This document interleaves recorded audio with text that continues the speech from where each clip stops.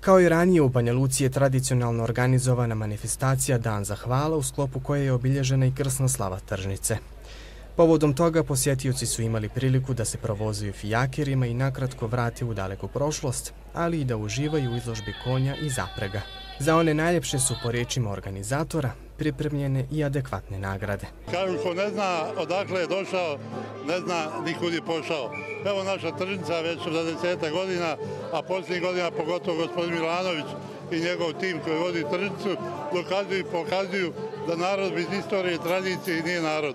Evo ova manifestacija već godinama dokazuje i pokazuje kako smo neke stvari zaboravili. Konj je, nažalost, danas veoma rijetka životinja u našim prostorima, ali znamo da je ona značila generacijama život i mnogo više. Evo, kao neko ko misli da pozna istoriju Banja Luke, puno ponosa kažem da je Banja Luka stara od prilike koliko i duhovski vašar.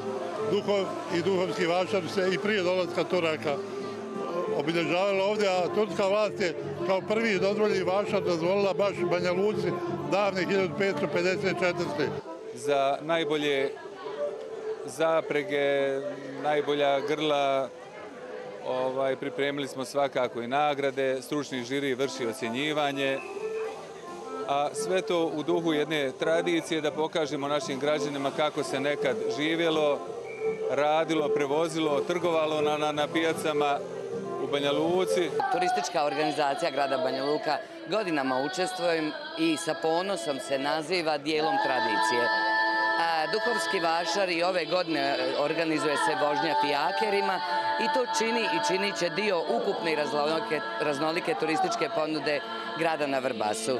Turistička organizacija je bila, bit će, a i danas je E, na istom mjestu i podržat će ovu promociju vrijednosti kakav ima Dan za hvala. Gradski prevoz u gradu na Vrbasu uživa dugu tradiciju. Njegove preteče su naravno bila kola s konjskom bučom, tako da su kasniji fijakeri postali javno prevozno sredstvo u gradu koje se najduže održalo, sve do kraja 50. godina 20. vijeka. Vlasnici ovih simbola starog vremena kažu da sa velikim entuzijazmom iz godine u godinu učestvuju na ovoj manifestaciji. Ja sam od prvog dana kad su organizovali, svake godine smo tu. Evo recite mi nešto više o vašem fijakeru, koliko je ovo kočija ova, da tako kažemo, stara i ostalo sve? E, nije stara, ovo je kočija nova, dobra je, ja mislim da je super, izgleda. Imam ja nekoliko kočija još kod kuće i bavim se tako s konjima, imamo 40 konja sada trenutno. Dođu mi uvijek sa četiri para, tri, četiri para, sad nemamo dovoljno radnika, došli smo samo sa ovim jednim fijakirom, jednim parom konja. Recite mi, je li skupo održavati sve to? Pa jest. Pa i nije, nije. Šta kad imaš volju i ljubav prema tome i nije, ne gledaš to na cijenom. Da. Kako su očekivanja za danas? Evo, dijelit će se i nekakve nagrade, koliko znam. Pa ne znam, neću ništa naprijed govoriti, evo. Sačekat ćemo pa ćemo vidjeti. Bili smo i prošle godine i pretprošle s ovim, mislim, grlma to od mlađe gajčara, Golji, Gradiška, Topola, Nova Topola. Kakve rezultate ste ostvarili? Pa bili smo, ne znam, nešto, dobili smo neku nagradu, ne sjećam baš tačno. Drugo mjesto neko i tako. Evo, kakva su očekivanja što se tiče ove godine? Pa isto, isto. Tu mi smo došli čisto onako, eto, da se družimo i da vidimo malo naroda i narod nas, eto. To je to. Evo, što se tiče konja i koče, je li to onako skupo za održavati?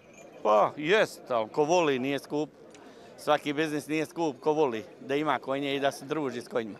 Osim u društvu plemenitih životinja, Banjalučani su imali priliku da uživaju u programu koji je za njih pripremilo kulturno-umjetničko društvo Piskavica. Pošto su duhovi slava tržnice u duhu slave, mi ćemo, pri, mi smo, mi ćemo prikazati slavski običaj ovdje e, za sav ovaj narod koji nije uspio da u nedelju dođe i da prisustuje tom svečanom činu koji je uprava upriličila bila. Zbog tog se organizuje ovdje. Pored toga će biti malo tradicionalnog pjevanja, igranja, zabave, znači za sve. Odavde, znači u Kočijama će djeca u narodnim nošnjama do centra grada, e, do kastela. Tamo na kastelu će se nastaviti zabava program, vratiti se ovamo, proglašenje pobjednika. Eto, tako čitav dan ćemo se ovdje, do, bar do 15 sati ćemo se ovdje zabavljati. Eto.